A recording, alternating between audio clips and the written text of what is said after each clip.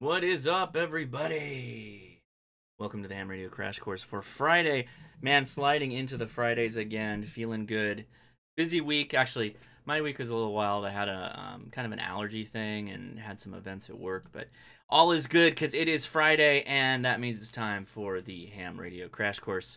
People are already rolling into the chat room, some stuff going on. Awesome, as always. Thank you, everybody. I'm trying out some major new settings here on the stream. I believe, um, along with my trials and tribulations, that I have solved some of my video problems. It may be temporary, and I may have to eventually move to a different streaming rig, but I think um, I think we've made some progress. So hopefully things sound good and they'll look good going forward for this uh, fun stream. I get asked a lot, a lot. You know, what do I do now? I got my technician license. What's the next step? And and it it kind of it, it, comes in sorts of different ways. They're asking a question like, "Hey, what's a good uh, radio to step up from from a Baofeng?" Or um, "What radio should I buy?" Or "I visited a club, just one club, and I had a hard time." Right? All these things. Oh, I should mute that right now. All these things are indicative of uh, somebody starting out, right? Or they'll ask a question that's kind of like really open ended, you know what they're looking for. They're looking for more information on how to get started with amateur radio. So, what's up again, guys? It is Friday. Um, I'm going to try and run three different, not nets, but if you want to talk, I've got the radios on and listening. Tell me in the chat if you want to try and you have a question related to the topic. We'll give it a shot. It should be fun, but no worries if we can't make it happen. Um, also, my beam antenna should be here probably in the next week or two. very excited to get that on the roof, which that's going to be pretty awesome. Got Colorado, Colorado checking in. Truth Telling Mofos in Cincinnati. Got Carl from Malaysia. Um, there's a J. Oh, there's a JS8 QSO party going on right now. Oh, I'll have to check that out after the stream. And a couple Coloradoans. What do you call it? Uh, multiple people from Colorado. Coloradians? Coloradians? Very nice. Uh, just a quick. Here's my computer. Um, I had this taken apart. Uh, to ended up pulling out the video card and putting that in the oven. Um, and cooked it, and it fixed the video card, among other problems. So, um, man, crazy week. So, not really a lot of news moving forward with radio, right? If you're particularly a newcomer, which I feel like we've got kind of a new a new group of newcomers coming into the Ham Radio Crash Course, which is awesome. But we kind of have to retread some of our ground because some things have changed. My opinions have changed, and so I, would like to kind of say, what do you do now if you're if you're going to be an amateur radio operator? And I've got some ideas. It's not all the ideas, and I will take comments in the chat and we can we can take questions or whatever as we go along. So keep that in mind as we move forward. Um, again, moving forward, moving forward with radio uh, recommendation or homework for today, this week, if you will, until we meet again. Find out what your local ARES or RACES is in your area. Go look that up because I am going to mention emergency preparedness in my what to do next, and I think that's a good area to get started is ARES and RACES. So, um, yeah, Buena Park. Somebody says they're in Buena Park you could probably just drive over to my house right now and be on the stream. Uh, don't don't do that. uh, okay, so I don't really have a lot of news. I'm gonna jump right into the brew crew. This is a special brew crew.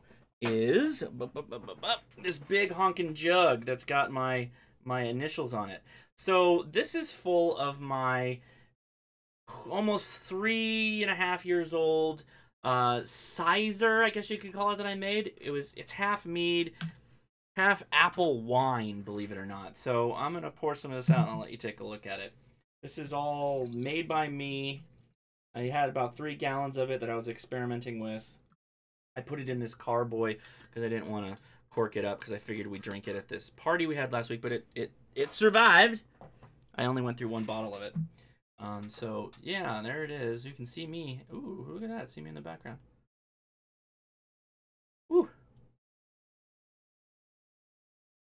Strong man that um that's a good holiday that's a good holiday wine right there i made this with a, a mead that i used um champagne yeast on so it came out like rocket fuel and I mixed it with an apple wine that had a bit more residual sugar, and I threw in a couple of uh, cinnamon sticks just for added measure. This is holiday-tastic, perfect time for October to stuff. Okay, so not a beer today, but that's all right. Got to mix it up. That's for young stomachs, someone says. No, it, I wouldn't drink a ton of it, but it, won't mess you up. It, I, I racked it many times. It shouldn't have sat on any of the lees and had any, um, I can't think of the term now. Anyway. All right, so what are we talking about? Well, you got your license, now what? There's so many things to cover in this area, but I'm going to hit some of what I think is the most important things. So what's most... Ooh, oh, decided to hop right up there. Don't need that. There you go. So what's next? Probably get a radio. Now, I know somebody mentioned Echolink in the chat. Uh, you don't need a radio to do Echolink, but you do need a certified FCC license to set that up. I have uh, feelings about Echolink that I have mentioned in other streams. Echolink is great, except that um, depending on how active and passionate the people are on your repeater, they might not give you enough time between keying up and keying down to get in there and, and, and hold a QSO for very long. Echolink's a fun thing to try, but nothing beats an actual, you know, physical radio in your hand. Okay? Makes sense. So get a radio. You probably have a VHF, UHF radio if you're watching this. I'll assume you have at least a Baofeng. If not, um, by the way, there's going to be a ton of links. There are a ton of links in the description. It took me a while to curate all the links for all the videos we've already already covered. So if you're kind of new here, maybe you subscribed after watching the FCC video, and you kind of resonate with some of the topics in the description, please check out the links they cover many, many different topics, and they'll go into much deep, much, much greater detail than we're going to go in today. This is more of an overview, if anything. So, um, there's also getting an SDR. You, you could think about getting an SDR, which we did a review on the SDRplay a couple weeks ago, and I've done a. Uh, somebody asked question: Is my Baofeng now contraband? Um, yeah, I don't, I don't know. To be honest with you, I haven't seen any new FCC uh, updates on that whole Baofeng thing. So we we are keeping an eye on it, but at this time, I don't think they are. But um, there will be more discussion on that for sure. So with the SDRs, a lot of them are receive only, unless you're getting something like a HackRF. So keep that in mind. Um, you don't need to have your license to have an SDR. I suggest people buy a couple of them if you're going to get the USB dongle types or pick up an SDRplay. It is about $120 for the base model one, but man, oh man, is that a great radio. You'll be able to experiment with so many things with that radio, so highly, highly recommend that. So the next thing is so you got your VHF UHF radio. What are you gonna do with it? Well, of course you gotta lo- you gotta have simplex. You gotta know to work simplex, which is you know 1.6.520 on VHF, and I can't remember the one off of UHF in my head, but you can look up a list of simplex frequencies, and all those are is kind of like the walkie-talkie ish frequencies you'd use to call out for somebody. Call out CQ, you know, who's in my local area. Hey, I need help. My cell phone's not working. I'm hiking, whatever. Case in point, I'm in Cerritos, California, and about a week ago on 50 watts with my 18 foot vertical ground plane antenna, I was talking to someone in San Diego. So that was awesome. So, of course, load up some simplex frequencies that are popular. I like 146.520. I think it's a bit better than the UHF frequencies. So I'm primarily on that one. And then the repeaters I use are mostly on UHF. So what do you do? Well, there's a video for that. That's in the description. But I recommend you load up all your local repeaters. Use something like Chirp. And since you're new, you can't really expect to know all the best uh, repeaters in the area. So always be scanning, right? Recommend that you get the radio functioning, get it going, and scan all the time you want to try and figure out patterns of repeaters because some repeaters will be just frankly, frankly dead. They won't have anything going except for their net that they do. And it could be a more than once weekly net. Some of the best ways you can figure all that out is if you like the repeater and you, you get the frequency and you hear the net, or maybe it's just dead and you're like, well, I don't I don't know, is it really that dead? Search the call sign of the repeater, and that usually will yield some kind of website or some kind of information about the owner owners are often a repeater group that seeks donations or memberships, or they're a club that owns it. Either way, by Googling the call sign, you can get a really good idea of what that club or group or repeater is up to. Schedule of events, maybe they have actual meetups that do that kind of whole thing. So make sure that you get it all programmed and ready. And try, like I said, try to use it throughout the day to figure out when people are on. And this is basically what you're going to do. You load up the repeater. You're this is maybe it's the first time ever um, on the radio. You're gonna key down. you're gonna say this is, then state your call sign, and you're gonna say radio check, and you're gonna let go of the key. That's how I got started. You're just gonna say radio check. How am I sounding on the repeater? Ideally, this would be on a repeater that people are talking on. That is always helpful. But if not, um, you could be calling into the darkness because there might not be anyone listening. So keep that in mind too. Ken K asks, how up to date is Repeater Book? Repeater Book, I believe, well, the website I believe is fairly often updated. But if you got a quote unquote repeater book, those are usually updated yearly. So, and sometimes repeaters go. To So what happens a lot that's part of the problem with repeater books is sometimes repeaters will change PL tones or they'll change um, offsets, and that can cause the repeater information to be bad. You might be on the right frequency, but you might not be hearing anything because you don't have the right PL tone receive or to get into the repeater. Or you'll probably be receiving, but you won't know how to get onto the repeater because you'll be on the right frequency, but you won't have the right PL tone or your offset could be wrong, which is just all kinds of stuff to, to keep in mind. So what about mic fright? So I'm a I'm a weirdo. I don't have any problem picking up a little black box like this and just talking. I, try not to be a jerk and I try not to step on anybody and I and I I do wait. Always wait to receive as long as you can before you actually start to transmit.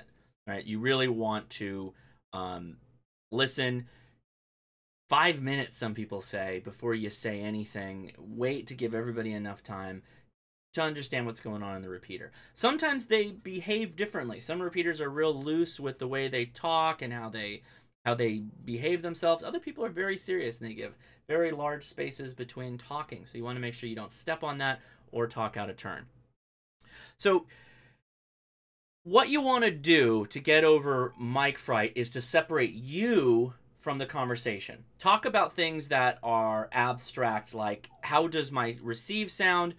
What kind of better radio could I have? If you don't have, what you don't have to buy it. You're under no obligation. But but move the topic off of you and keep it more on what you know or what you're interested in. Ask questions about what. Oh my God, the dog is crying again. Why?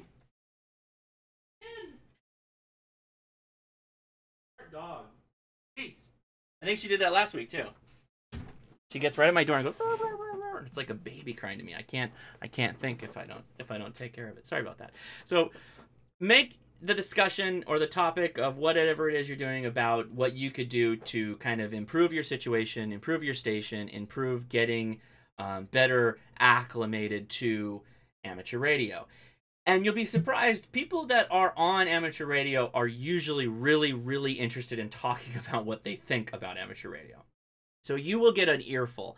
Now, you don't have to go buy any of this stuff, but it gets the ball rolling, it gets your name out there, and you'll find this is just personal, behind the lines. Um, yes, I do need a spell checker. I apologize for that. Sometimes my grammar and spelling is really bad because I just try to just go as fast as possible. So, anyway, sorry about that for those of you that are really spelling crazy. Reading between the lines here, the more you talk on a repeater, the more you will get well known, the more you are well known, the more clout, quote unquote, clout you'll have on the repeater, particularly ones that aren't major connected net systems like the Win system or whatnot. A lot of things that you'll find um, when you're talking on repeaters, not a lot of people are using handy talkies. Some will, but the real active people are either on mobiles in their car or they're on some kind of base station. That could be a mobile radio masquerading as a base station, or it could be an actual desktop base station radio. In some cases, people could be running amps and have very, very powerful, uh, really nice antennas, the whole nine yards. So people generally really, really, really want to talk about their their station. So do engage with people, and you will get really, really good information if you do ask that. If you are hearing people talk and they're blatantly wrong, not about a personal opinion because that'll lead to a whole bunch of problems and you don't want to have your first uh, your first discussion out of the gate where you where you're talking crap to somebody. But you know something that, that they don't know or, or you've got a new piece of information or something like that you're always welcome to just say the word break and if they're willing they might pause and say go ahead breaking station and then you announce yourself and say hey uh, new information has come out on this, blah, blah, blah, blah, blah. And then, boom, you're in the discussion. You probably can let it go back to them, but they may throw it back to you or they may pause and allow you to talk. I have been on um, roundabout discussion. Hey, Carrie's in the house. Good to see you, Carrie. I've been on roundabout discussions where we've had four or five people that were all waiting on their turn to talk, and it was a roundtable discussion. Roundtable because you're literally all holding the conch, if you will, the the PTT on your radio and talking. Ethan says break or the last three of your call. Some people don't like uh, break because it's too CB. Yeah, um, I the the thing with the the thing with break is everybody understands what it means. The problem with the call is somebody just says NAZ and they're gonna go, okay. Some people are better at than others, granted, but it and again this goes back to the culture of the repeater. Repeaters have different cultures. So this is uh, the repeater I talk on most of the time, which is the Santiago Peak repeater. And that is their propagation space, all that green area. So basically, if you're anywhere from Thousand Oaks south to, what is that, Carlsbad, you're covered by that repeater. In fact, whenever I go down to San Diego, I can I can sometimes make that repeater all my way down on 50 watts. So comment is good too. Rob call good Good comment from Rob. Uh, comment is probably a preferred vernacular to break. It depends on your repeater. So. I would also recommend that if you are new and you only have a Baofeng, don't mention you have a Baofeng. Say you have a Yaesu six uh, Yaesu FT60. Just say that. Just say it. Who cares? You may not ever meet these people. And if you ever do meet them, it's probably going to be months later, and you could be like, oh, yeah, that radio. It's great. Um, and then go out and buy an FT70 or something like that, or FT60. You don't have to say you have a Baofeng, but understand people will be straight up. They will turn off to you completely if you, um, in some cases, if you have a Baofeng. It's just the way it is. So keep that in mind. You don't have to say you have a Baofeng. Say you got something else. Um, this isn't a Baofeng, but Baofengs have little mic holes in the front. This is just a, a pro tip you can take the clamshells off with a screwdriver and you can get like a soldering iron or a Dremel, bore that mic hole out a bit. It'll improve your mic quality quality a ton. I would recommend that. Okay, so you're enjoying talking on repeaters. You're using them. You've got multiple of them programmed on your radio. Maybe you even have gone on long distance trips where you've Use Chirp to pre-stage all the repeaters you're going to use. I've done this before. Uh, that can be a bit troubling because you're not sure if the repeaters are populated or not. So I would use I would load a couple of them in and see how well you can do coverage along the way. This is when simplex is important. For those gaps in in repeater space, always make sure you're using simplex. So consider joining a repeater group or club. Uh, clubs are not always tied to repeaters, but some clubs have repeaters but there are groups. It's like a, a repeater ownership club. They don't meet to do anything other than repeater stuff. Usually it's a fun stuff like barbecues. That Spark repeater, they do barbecues, and sometimes they'll help people set up. Um, oh man, Steven, I'll come back to you in a second on the Hilltopper 20. They'll do barbecues, they'll do other things um, that are just fun. It's a camaraderie thing. You will find that groups that revolve around repeaters are more about personal friendships and ham radio clubs are about ham radio. There may be personal friends but it's personal friendship revolving around ham radio. A lot of the guys on the spark repeater meet to go have drinks and, and barbecue and all that fun stuff i've already mentioned. Um, okay so i'm gonna do a don't look behind the curtain thing. This isn't going to show up because it's a green screen. Oh, but Hilltopper 20 is complete. Oh, it makes me disappear. Woo! It is complete. I'm planning on doing a whole video on this. The the death and rise of the Hilltopper 20. Uh, I have a Amazon USB microscope in the mail to actually show you the PCB and show you what happened and how it was fixed. I needed help. Let me just say the thing that I did, I didn't release all the smoke, but some smoke was released, and I needed to call in backup to support you, support me, and that's okay. I've I've made lots of uh, kits. Um, hey, that's something to do in ham radio. Build some kits. Build some cheap kits. Start with a Pixie or something like that. Um, but yeah, that was uh, that was the first time I've ever had a catastrophic problem with a kit. Let's see. Go into the chat here. Ben says, I did that for my upcoming trip, programmed all the repeaters on my route. Yeah, and I, I wish I could tell you there was an easy way to do that. There really isn't. You can try and reach out to people you may know in the area that are hams, or if you're lucky, some of those repeaters, the popular ones will anyway, will be on Broadcastify. So you can kind of go across the country or wherever you're going, search Broadcastify for that area and see what repeaters are popular and in use, and then program those. Andrew says, I've been to two club meetings. I'm already put in as a treasure for next year. You sucker. No, just kidding. That's awesome. I tried the repeaters loaded on most of the places where I like one person. Yep. Okay, right on. My David Brown says my FT60 is nice. Thinking of a Baofeng repeater on a weather balloon. Oh, like two two Baofengs. That's an interesting idea. Okay. So now you're starting to get more active in amateur radio. You're you've done the repeater thing. Why don't you look at an on-air event? Uh, does VHF UHF contests. They do contests throughout the year, but they have three different VHF UHF contests a year and there are links in the description to the ARRL. You probably just want to go to the group link that's in the bottom, find a group. But then once you're there, go to the calendar for events, and they'll have physical meetups, ham swaps, uh, hamventions, and then they'll have their on-air events. So I would recommend that. I think that's a, um, I think it's a pretty good. Hey, look at that guy. Um, I think that's a pretty good thing to do is try out an on on-air event. And I say contest, but but a lot of them aren't. A lot of them are just fun, enjoyable. They can be stressful, and it's really not about the points. It's about exercising your skills in amateur radio. So I highly recommend you check out an on orbit event if you can. So for me, whoa, is that somebody on the? Nope.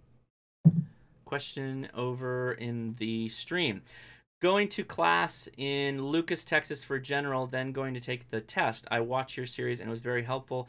I'll have to read the book before my class. So yeah, and also I would recommend using the practice apps. Uh, the iPhone has the ARRL version. I learned recently that there is no ARRL version for the practice apps on Android. And I know that uh, I saw Ethan and I saw Zach. They probably have opinions on what better apps there are. Or maybe you all do. If you used an Android app, feel free to post in the chat and I'll mention it on what you found was good. And he said, Your series was great, but not all inclusive. Correct. I, I never claimed to be all inclusive. I never claimed to be doing a textbook class. If I was, I would be charging you money for it. We're just having fun. I'm having fun. Once it becomes work, then I'll just go to work. I make way more money doing that. Don't you? Oh, am I getting messages? That's what's happening? Yep, I'm getting messages. Bumper, uh, oh yeah. So, hey, I just got a DMR message from the talk group, uh, talk groupin, talk groupin, uh, 146.52 bumper sticker, nice for travel. That is a damn good idea. Zach and Ethan both said ham study. Okay, there's an official, oh, there you go, official app. Oh, there you go. Go get ham study. I didn't even know that. I should have known that. Yeah, go get hamstudy.org. Okay, I've got more messages. Hold on, I'm just going to read my text messages in chat. Okay. KN4KVC says hi. Hello. Thank you for that. Okay. So, what got me active in amateur radio was being prepared. Straight up. Emergency communications living in California, being through the 87 Whittier Narrows earthquake when I was close, I was in Whittier and close to Whittier Narrows as a kid, really cemented in my mind the importance of being prepared. So to me, amateur radio is as important as having food, water, all the tools and batteries you need, and firearms. It's just one on the same level of important things you need for your life to be prepared. So it was a no brainer. I fell really deeply into um, emergency radios, receive radios, like my my one of my Voyagers and other ones that I've shown on uh, that uh, shortwave radio stream. I did a review on this that's out there. If you search for Kaito, this is the Kaito KA500. You'll see my review. Good radio for emergencies, but then I was like, well, what if you need a call for help? And then I fell down the rabbit hole of amateur radio. That was also assisted by the fact that I was a Boy Scout and I had a Scoutmaster who was an amateur radio. He was licensed, not very good at teaching people. He couldn't. Something was going on with him that he couldn't describe to me how amateur radio worked, and oh, it's it's APRS through DMR. Zach says I should have known with the Dash Five. Thanks for the comment. Yeah, very good. So it's working. I'm getting APRS through my hotspot. Um, what's the wrench about? Somebody, Anthony Perez says. I love lasers. I am on upper sideband on 7.180. What is on, someone asked again, what is on the 7.180 frequency? That would be me if somebody wanted to try and hail me on HF on upper sideband. So, what did I say there? I wrote that slide, I don't remember. Yeah. Yeah, what that guy said. Start we know radio is a great tool for emergency preparedness. Start looking into the uh into what into that what that jeez Josh, you are bad at writing spelling regarding operations and emergency and what kind of stations you need to be effective. So to go down that rabbit hole, your Baofeng is a fine two-way radio. It's not the best radio for emergency preparedness. Um, you need something more like a mobile, and you need a better antenna to be able to reach out. And then you possibly need HF, particularly NVIS, near vertical sky. Getting all these messages. Hi, who's that from? Great. Not the best. Not the best, this interface.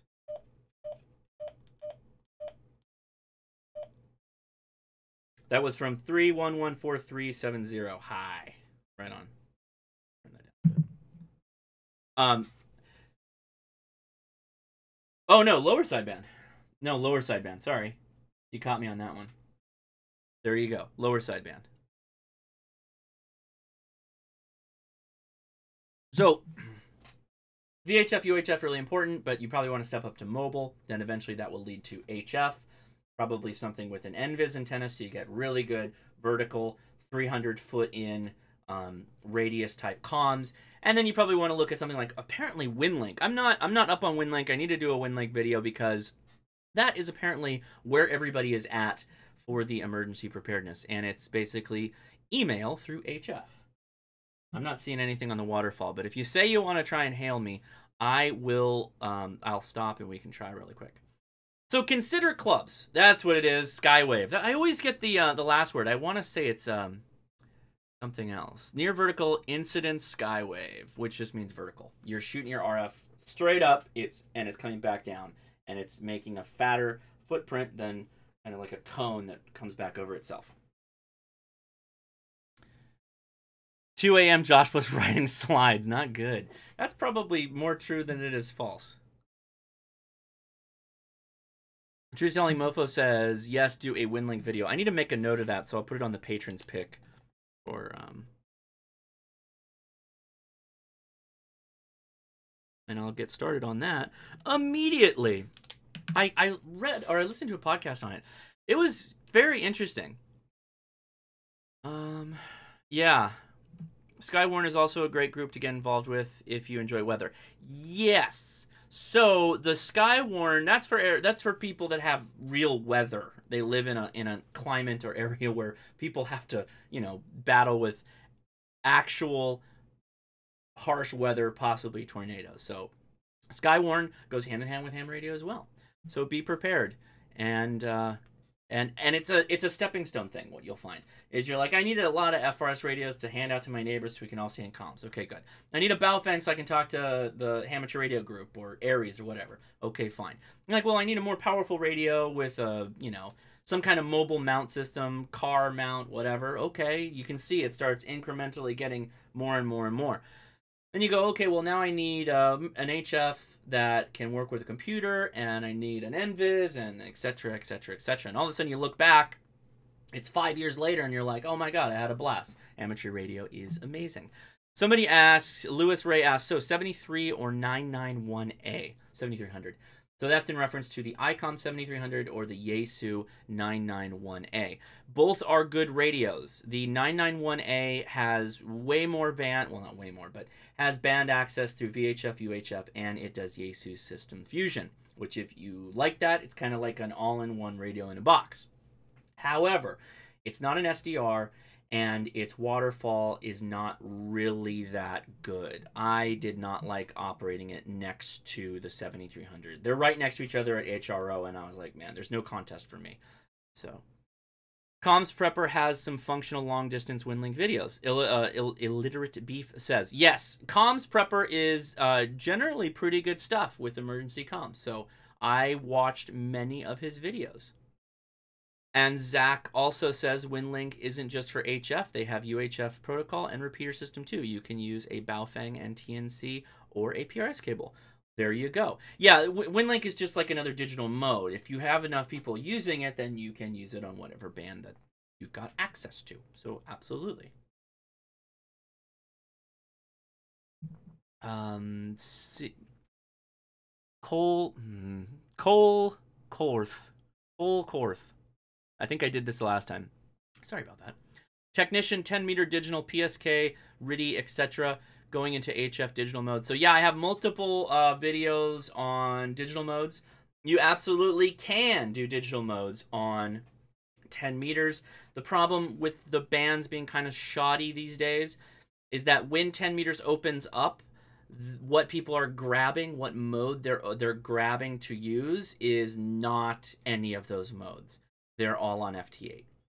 So we had a big hole open up on 10 meters, and I was rocking contacts. Very awesome. It was it was banging. It was like 40 on a on a clear night. It was great, and it was right in the middle of the day, and that was all FT8. Everything else was pretty much quiet. So make sure you consider that.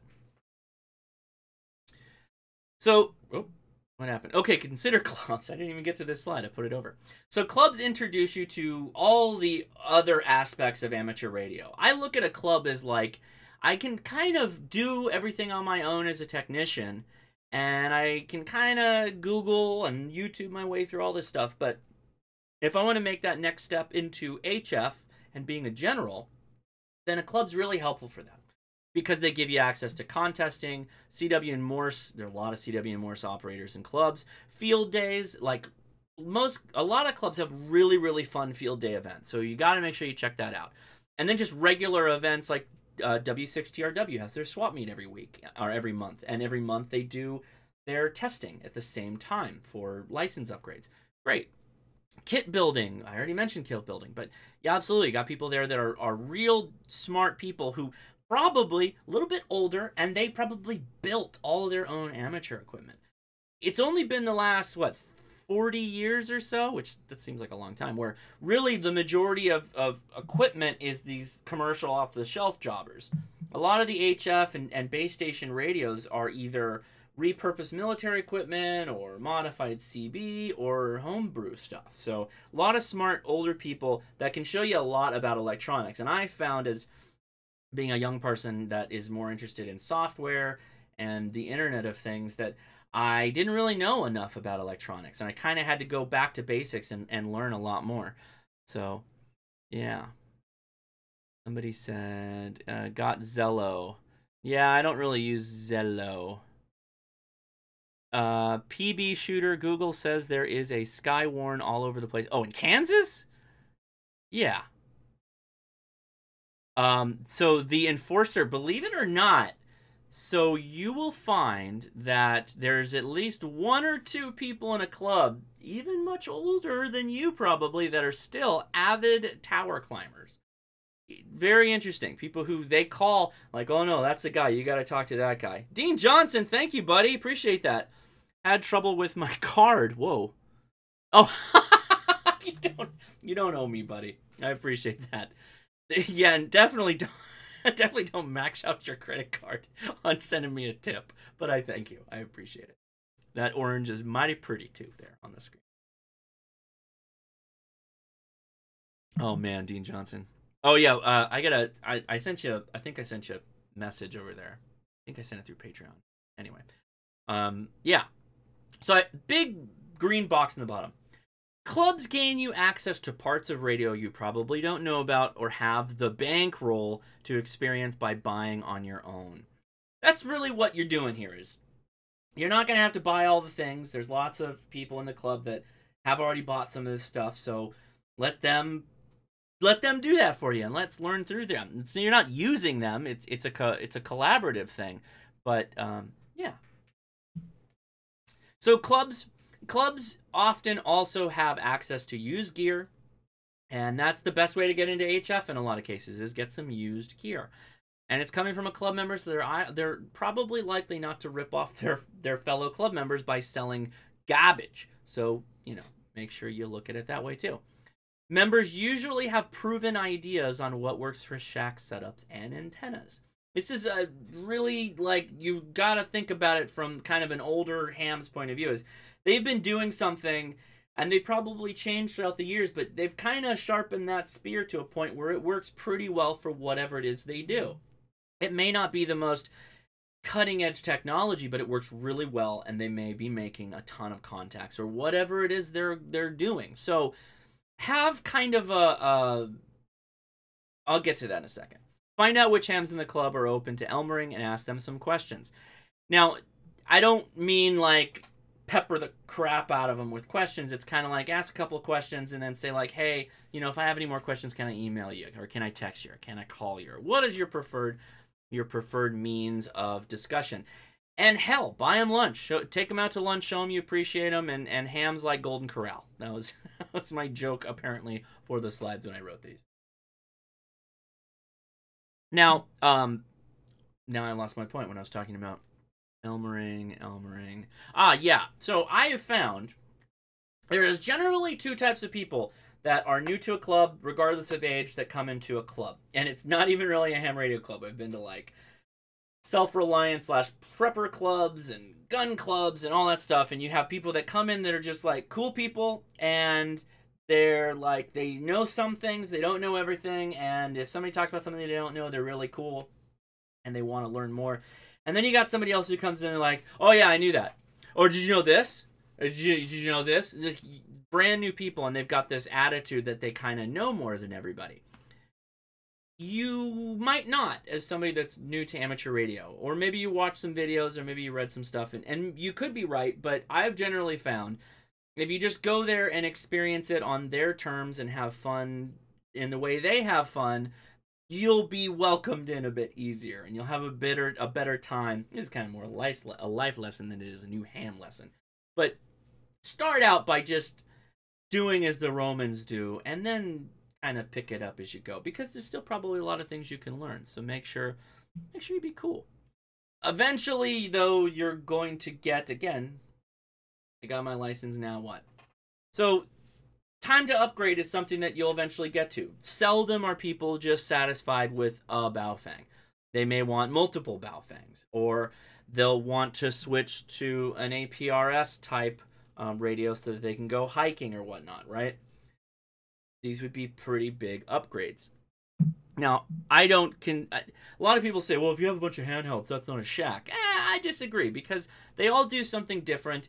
They all give you a certain different kind of communication and it's true with HTs it's kind of single focused but it doesn't mean it's any less of a radio and it doesn't mean that you're any less of a ham by having a lot of HTs but you might want to think about upgrading to a mobile in a car or an HF radio in the shack or maybe a mobile HF radio like um, like we were talking about for emergency preparedness or whatever. So, uh, VHF mobile, I already mentioned that. Make sure you got something that you can put in a car. If you have a much longer antenna, you will be able to work simplex much easier. So make sure you you do that whole thing. And HF, of course, by getting access to HF, you get digital modes, you get CW, you can DX, you can contest, and you get special on-air events. Now, I want I would like to pause one second and do a complete gear change. Zach, would you please post the link to the Discord because I bet there's people in the chat right now that may want to talk after the live stream, and we have a Discord set up just for that. And uh, it'll be mentioned again on the end, but I figured we'll say it up front here so that people can go ahead and get started with that if they'd like to hop over. We do a live chat at the end of every stream. The stream will be no different.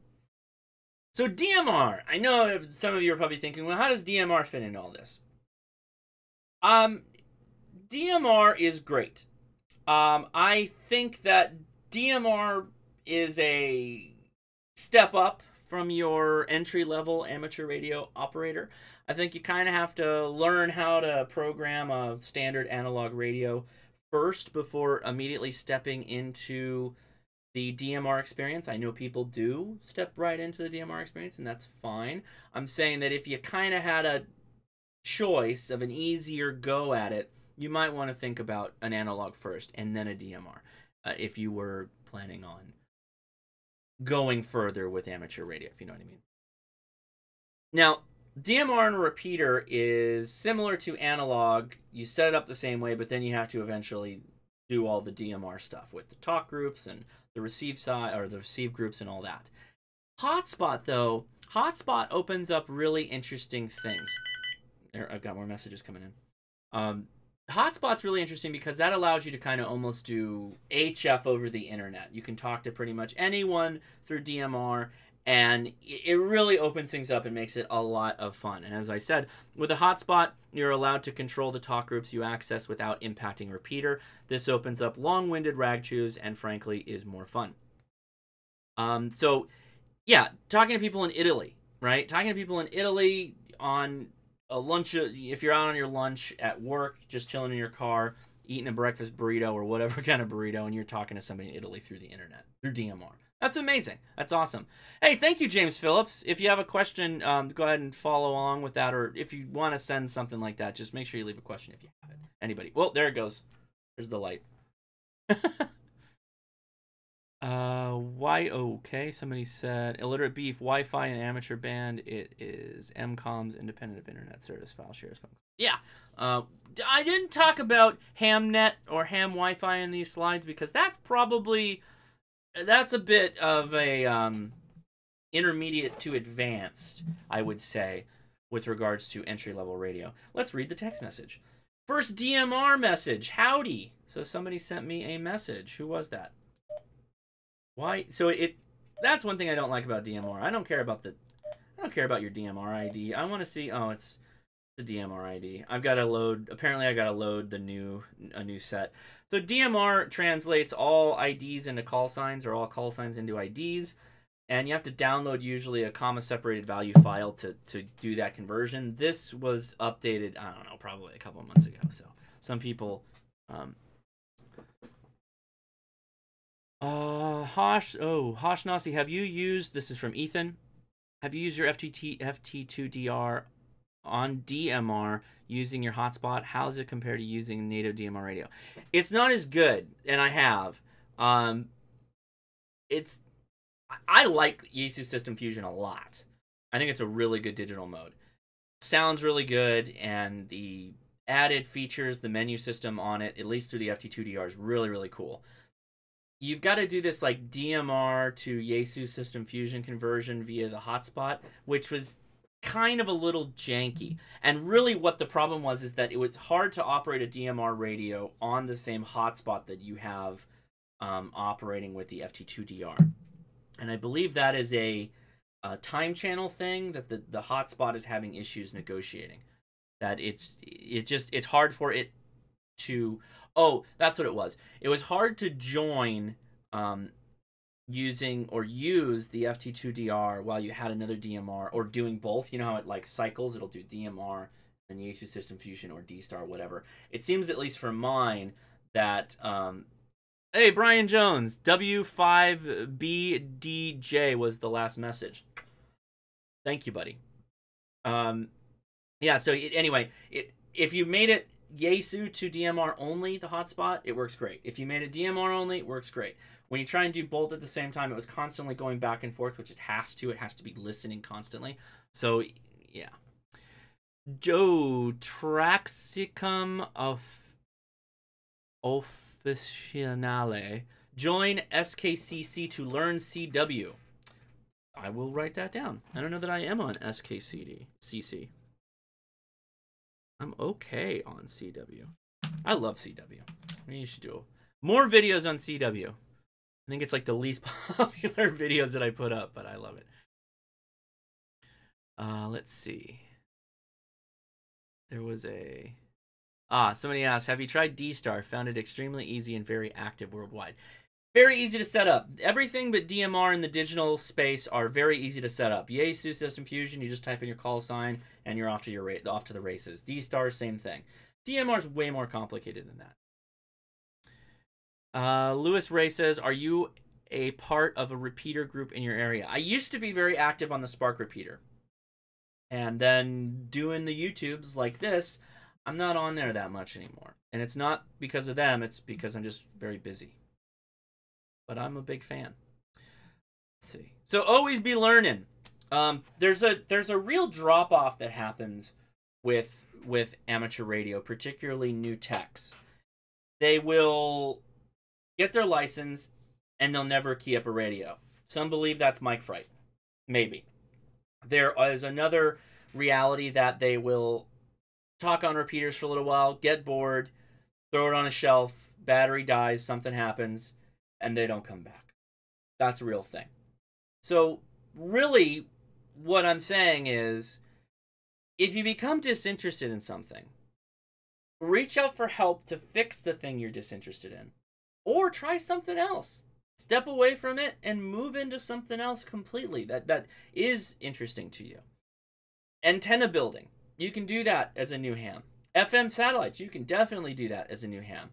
Find a fox hunt sure why not google fox hunts in your area or your county or your state or whatever and attend a physical event it's really weird that we're all you know we're all in the ether um, talking to each other via rf but really seeing people face to face and talking to them is amazingly powerful to keep people engaged. So, um, I am monitoring now. If you would like to give it a go, Franklin Lewis asks about 7.180. So let's throw it over to the radio, Chuck.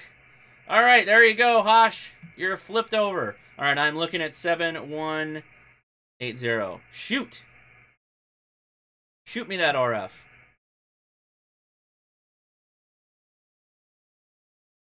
I don't hear nothing.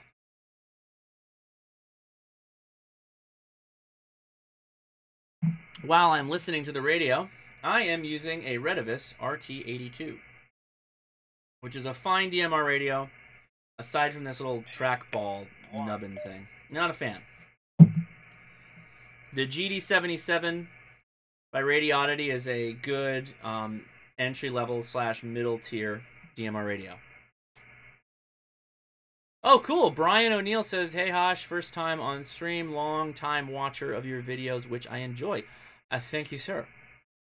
The True Telling Mofo says a tape measure Yagi is a good, easy antenna build for text. Absolutely. And then you can parlay that into working FM birds. Dan Hughes, I was listening to it last night. Very weird.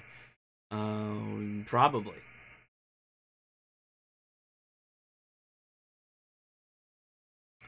I have Vox enabled. What? Oh no, that's a. Uh, sorry, I've got a gate. There, that's the radio noise. There's your white noise. KN4KGL, this is Kilo India 6 November Alpha Zulu. How you doing? One of the things that fixed the stream I'm good, uh, Josh. I just put on a hotspot on here and uh, thought I would come in and uh, say hi and uh, make sure I was in the stream. But I've been busy lately and not been able to watch the stream, so I just wanted to say hi and uh, hopefully the stream stream goes well, and uh, I'm going to uh, get, let you get back to it. See, you just got a super chat, so I'll let you recognize it. Uh, copy KBL. Thanks. Yeah, uh, good talking to you, bud. I'll talk to you later if you're on the uh, the live chat. So, while I've got it in my mind before I do the super chat, um, the reason why you're not hearing on the live chat. Uh, thank you. KN4 KBL. so the reason you're not hearing the the white noise is one of the things that helped fix my chat issues was by raising the noise gate on my mic. So I'm hearing the white noise right now, but if I stop, you'll hear nothing. But I'm still fine. It's all there. But I just got to crank the white noise up a bit. There it is. Okay, so serious unrelated ham radio question. Um, but it isn't a super chat, so I guess I'll answer it. This is like truth or dare um, super chat edition. What is your concealed carry? Sorry if this is uncomfortable. So, in California, uh, particularly LA County, it is very difficult to get a concealed carry license. Very few people have that, for example. But if I were to conceal carry, um, it would either be my Ruger LCP or my Glock 19. But I never carry illegally because that would be wrong. That'd be wrong. Um, all right. So I'm not here. Who was trying to call me? Oh, Dan Hughes, the Renegade Repeater. Yeah, 435, man. Don't listen to 435 if you don't have to. Pulling out my, my family stock here. Reloading. All right, Brew Crew, here we go.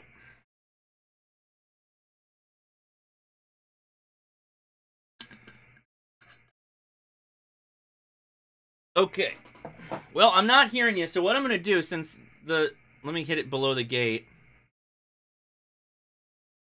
Oh, but you're going to hear it every time I talk, so... Yeah. Um, yeah, so I've got a, a lower floor on my mic now. It seems to help things out, among other things, so... If you are trying to hail me on the radio, please mention it in the chat. Okay? All right. Oh, ADM, you missed my, uh, this I made. This is a three-year-old, um, cyser, which is a combination of, uh, mead and apple wine. Yes. And it is, like, very strong. Upwards of 15%. Because uh, I use champagne yeast. yep, topping off the tank, boys. All right, so always be learning because you will, people will naturally peter out. A lot of the reasons why people say, go get a club, go get a club, you're going to lose interest, go get a club. No, actually, go get a club, it's a lot of fun. What they're not saying is, we're worried you're going to lose interest, and then you're going to be no longer a ham or a ham in name only, and then we've got the problems with the hobby not living on. So that's why everybody says, go join a club, go be active on a repeater, go join a repeater club, go club, club, club, club, club, is because there's just some kind of mental thing about being in a community that keeps people engaged. And so you, you, you need that. Um, and we want you to be engaged because we want the hobby to live on. That's it in a nutshell, right? I mean, we want we want this to stick around, and if you get discouraged, part of the reason why I started doing the Ham Radio Crash Course was I was making these videos and I was getting so inundated with questions. Even back when I was posting those Baofeng videos years ago, just so many, so many questions from people. And they went beyond just Baofeng programming to like, you know, why does it say this in the book? How do I do this? I want to do that, blah, blah, blah, blah, blah. And I would say, oh, you know, I can help you a little bit, but reach out to a club. And, and a lot of people would come back and say, clubs around me are pretty bad and and I didn't they called me a no code or probably not in so many words in his in his face but it might have made him feel like he was unwelcome or or she I don't remember but um, it's happened multiple times. So I made the Ham Radio crash course and the different things like Discord and, and and sought help from other people who are smarter than me in the area because I felt it was the best way to keep people from getting discouraged um, that if you had somebody, not just me, but if you had somebody that was there and and talking about it, they might know a little bit more and be able to help. So The Facebook page is growing like crazy from, you know, people wanting to have something like that. Maybe they can't find a club. And the Discord I think is the best. I, I love Discord. It's it's been a lot of fun. So yeah, just and that's the last slide. And of course, join the HRCC. There there's there's nothing better than than being in person if you can, but uh I think the way what we're doing on the internet is is close to as just as good. It's not the best, right? But it's still pretty valuable, I feel. And so the links are in the description. You got the Facebook, you got the Discord, and there is Reddit, although I think Ethan is really our only major Redditor. I'm on there occasionally. And uh, he is in Madagascar and very busy with his life. So we get Ethan back here next month. We're very excited about that.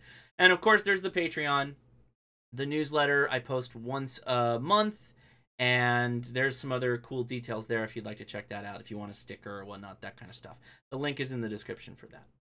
Okay, do I have another slide? I do not. So let's switch back over to the radio. And I will open it up for a couple minutes here for questions, and then we'll probably wrap top of the hour and and we'll go over to Discord. Jason Brown says, What would the next step up be from the Retevis RT82 in your opinion? Um, probably a Kenwood D74. I mean, at that point, you're you're pretty high up on the DMR food chain. You just probably get a different DMR radio. Because there's not many Japanese radios that do DMR at this point. Most of them are Chinese radios. All right, so hit me with your questions. Oh, shadow towing. I don't know if you're watching shadow towing. I uh, I owe you. I I gotta talk to you after this. Yeah. Oh yeah, my G19 is the uh, desert tan one too. Kind of limited edition Glock. I I don't want to talk about guns. if you want to talk about guns with me, go to gunchannels.com. I'm over there occasionally, but there's way smarter people about guns over there, and they also are. A lot of them are hams. Oh, so there's Zach. There you go, Zach. Maybe the maybe the high end Anytones or Motorola's for DMR. Oh, good point. I totally forgot about Motorola's. Yeah, absolutely. Motorola's would be a good step up. Um, for a DMR radio. Good for good, Zach. Perfect. What is your receive antenna? Wayne asks. Uh, receive antenna for what, sir? I'm using a G5RV for receive and transmit right now, which I am upgrading, and I will get next soon. I don't know if next week. I will be getting a radio waves beam hex beam antenna. I'm very excited about that. Oh yeah, Ethan comes in with the Motorola, something that's one one thousand dollars. Shack mobile option. So the enforcer asks, would you recommend a 7200 for Shack mobile option? Not exactly mobile, but so I would ask why not a 7300? Is there something that the 7200 does that the 7300 doesn't? Because frankly, I think the 7300 is as as far as the beginner radio goes, um, if if somebody would have said, "Don't mess around with these QRP radios," although QRP is fun for SOTA, get the 7300, save yourself some headaches, you'll love it. I would have been like, "Oh my god, radio is amazing," and I would have been like hitting it way harder than I am now or earlier.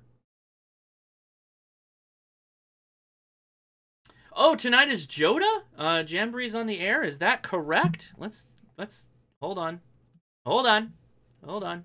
Contact.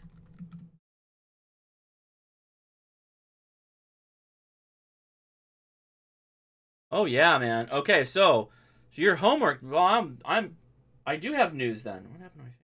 Come on, bud. Come on, website, go.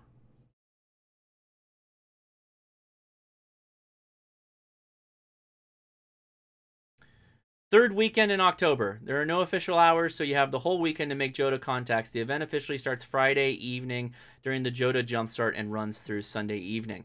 So if you have an HF, dial around the bands and listen for Boy Scouts that are calling uh, CQ JOTA, okay? And answer them and be be stewards of radio. And and also plug the ham radio crash course. Tell them Hoshnasi sent you.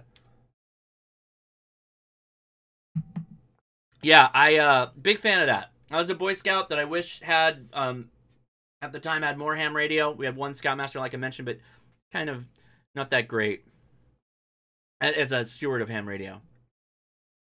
Um, yeah, just be listening. Do we have bands? Do we have?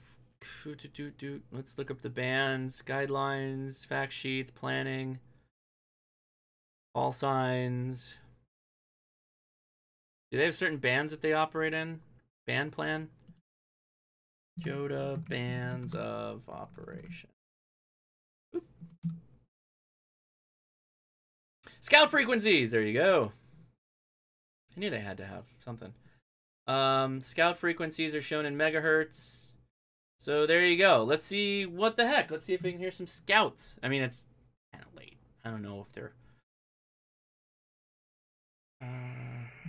Oh, they got a CW portion? Nice. There's nothing going on right now, so 40 is dead. Or it could just be my antenna. Let's hop over to 80 really fast and see. Let me switch over to so you can see the uh So 80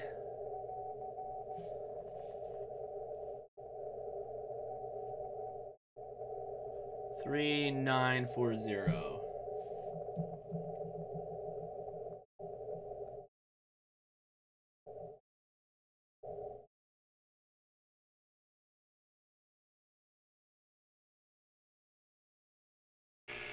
not AM.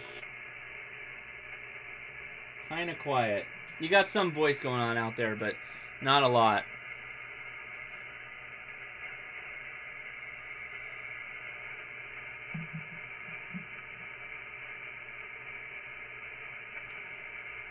Oh, good. Um, Zach has posted scouting.org Joda operation. Let me grab that. Boop. Thank you, Zach.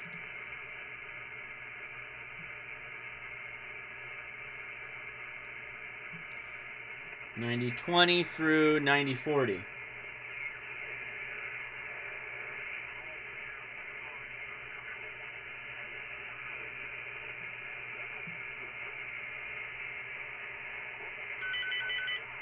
I got a message.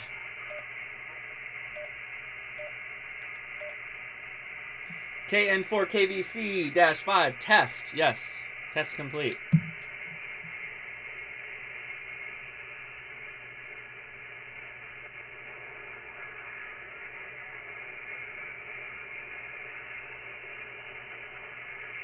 There's somebody in the dirt in there.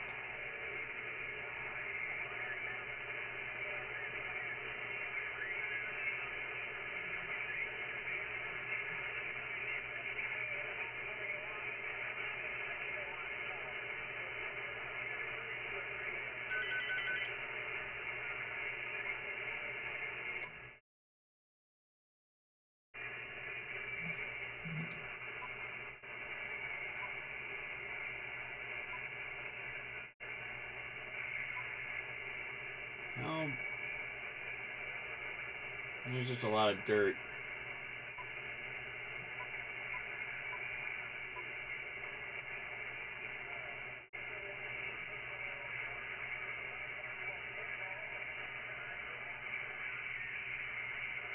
Not great. Let's go back down to this guy.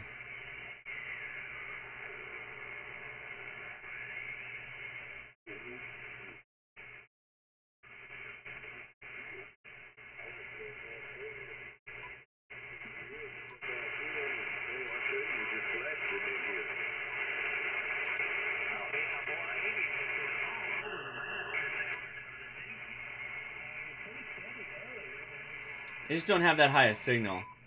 Otherwise, that's with the attenuator on.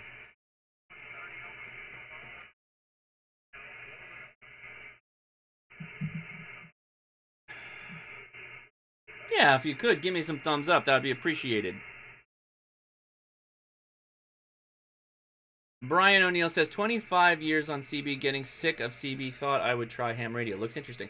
I think the advantage that ham radio has over CW is you've got more access to things that isn't just voice. You can do digital modes. You can work satellites. You, there's just a lot to do. You can be very busy. Uh, preamp, I, I clicked it on accident because I was trying to activate the attenuator. I don't use the preamp on 80. I use the attenuator because it's usually knocking down the noise is the goal or a really powerful station. You gotta knock that down. That is not a Boy Scout. That is a an elderly, uh, not an elderly, but an older person.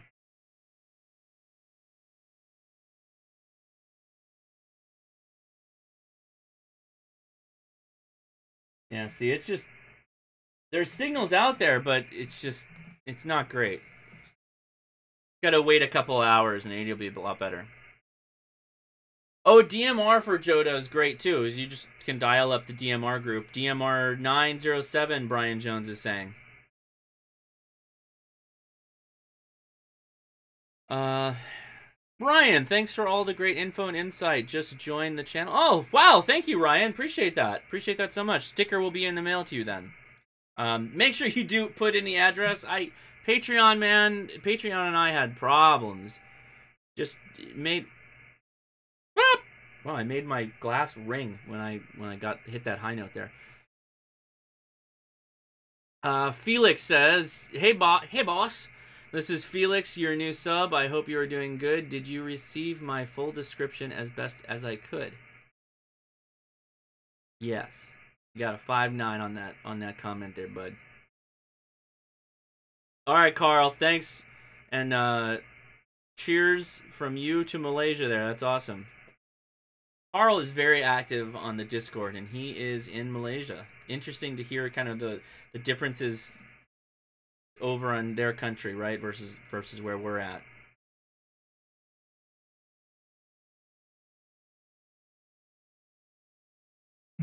All right, Zach's got the info there. DMR 907 is calling talk group, and the 9071 through 9078 for the QSO. Excellent. So uh, that that's nice. They got they got some things worked out there. DMR could be a mess, I bet. It'd be stacked up like cordwood, all the people trying to make contacts. Well, I'm not going to have a lot of time this weekend. Maybe I'll bring a radio with me. Hmm. That might be fun. This is just the the next so I'm still going to be doing all the streams. Don't worry about that, but my the, the the next months through the end of the year is just crazy. It's crazy it's it's just it's insane how busy um, I get. Me, my family, just. Uh, Dean Johnson, yeah, buddy, we gotta talk, man. I think I got it straightened out to you. Ho! OH8STN is in the house. What's up, buddy? Anyway, I, I saw you there, so cheers. How's it good to see you? Yeah, I was watching your video um today, I think. Today or yesterday you posted one. Right on. Yeah, Finland. Awesome. Oh yeah, what time is it in Finland? What is that? Um 10 a.m. Something like that.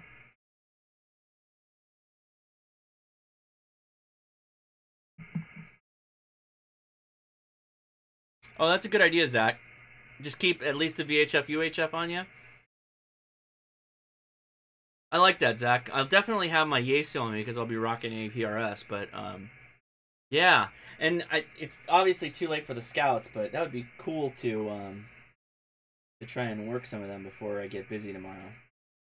Not like you know, get busy when I get busy with life. Jas Jas Key M. Josh, you need to make a trip to Colo. Uh, do you mean Colorado? Buddy, I was basically living in Colorado for a while. I was TDY there for work. I was like living in Colorado Springs um, in the Mining Exchange Hotel. Those guys know me, my, know me by name. I love that. I love that city. I love Colorado Springs. I love most of the, the whole state. Except those freaks in Boulder. No, I'm just kidding. I'm just kidding.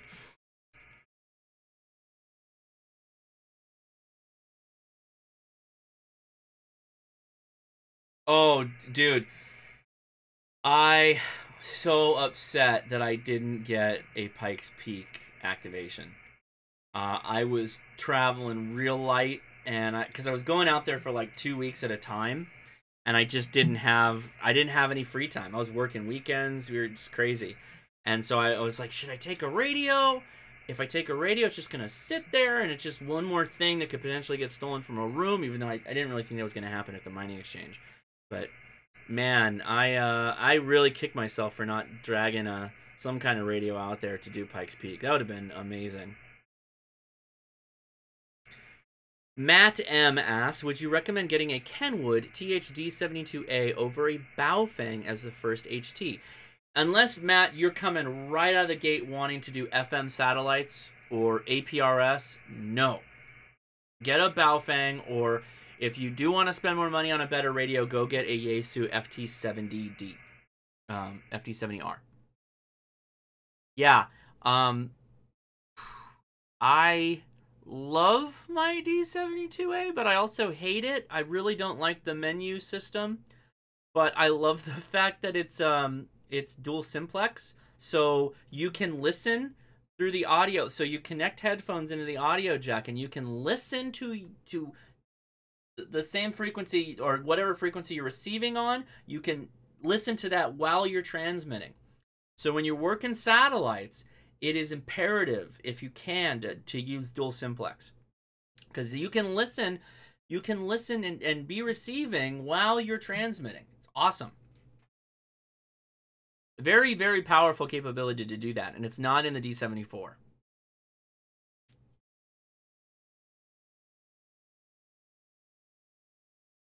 um i'm i'm reading zach's comments. Yep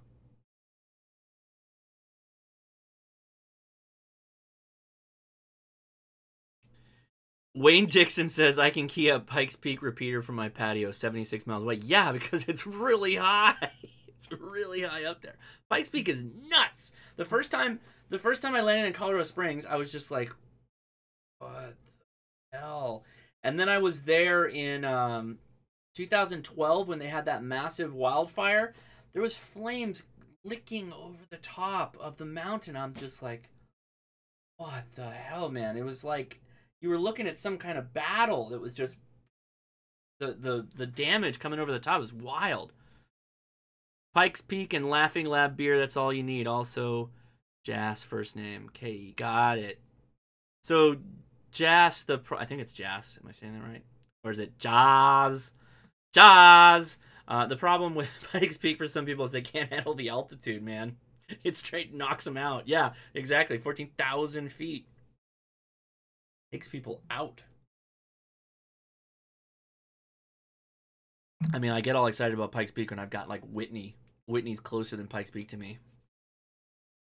Dude, the flames were nuts, man. All right. So, we're we're all just shooting the uh shooting the S here. So if we're good, I think we've got the questions all tamped down, tamping down those flames of questions. So I'm going to head over to Discord. We can continue that there. But before I do, thank you to the patrons. I know we got a couple of patrons that hopped on today, so I appreciate you, and you'll get here on this list. But William Horton, Chris Ebert, Carrie Blackwell. I saw Carrie earlier on the chat. I hope she's still around. Didn't I know she's busy too. Back to school. Jason Siebert, David Dansero. I think we got a question too, so I'll, I'll, hit that in a second. Danny Miller, Franklin Lewis, Ken Neiman, Brad Snyder, Ben Kellum, John Johnson, Kenneth Miyamoto, Andy, Michael Baxter, Gareth Broadhead, Dennis Dunderdale, Anthony, Justin Blackburn, Garrett Larson, the infamous No Name, Mark McCarty, Dennis Mickelson, George Gaini, Jason Brown, Richard Dragon KG6WFR, Mark Chase, Corwin Crandall, and the Brew Crew. Thank you very much. I, I, wouldn't be able to do this without all your help because doing this every week, man, things break or I don't have what I need. So um, it means a lot. I can't tell you how it really helps keeping this going particularly with the way YouTube's ads are and all that stuff. I can't say enough. So thank you. And now, now that now that I shoved my video card in the oven, this thing is gonna die at any moment. So any extra little scraps I can put together to go buy a, another computer was is important. I appreciate that. Brian O'Neill says, Hoshnasi, I have a club near me that is charging forty dollars. Wait, what? Hold on, hold on, hold on now, hold on, hold on, hold on. Forty dollars, twenty-five dollars for manual, and fifteen dollars for a tech exam to get the license. Have to wait until. Oh yeah, that's fine. Uh, fifteen dollars is usually the fee that they charge to um, to give someone a lesson or to sorry to let them test, and twenty five dollars for the manual, whatever it is. Not bad. That's, that's not bad. I'd do that. You can probably knock it out in a weekend. Yeah, I'm sure. I mean, I the technician license here in the states is so easy that you'll be able to study for a month with the practice exams. You know, read in the evening, take the practice exam, take one or two a day one at your lunch break when you're at work. In a month, you'll be good to go. You'll be good to go. Yeah. So definitely, definitely just just you can pay the forty dollars. That's fine. The forty dollars isn't that much money. Okay. I think we got all the questions. Somebody gave double thumbs up. How do you do that? All right, so Appreciate everybody. This is perfect. 8:15. That's about right where you want to be. Just a little bit over an hour, so everybody feels like they got their questions answered. What I like. Hopefully, this was an interesting topic. If you have any comments, if you hated it, post in the in the comments or reach out and talk to me directly. You can hit me up on Facebook, Facebook Messenger, Instagram, which I'm Hoshnasi on Instagram, Snapchat, I'm Hoshnasi on Snapchat. You can hit me up on the Discord. I don't know if there's a thing. I'm sure there's a thing that exists with them young internet kids these days um, that I am not on, but you can pretty much get me wherever. And if you want to email me, hoshnasi at gmail.com. It's that easy.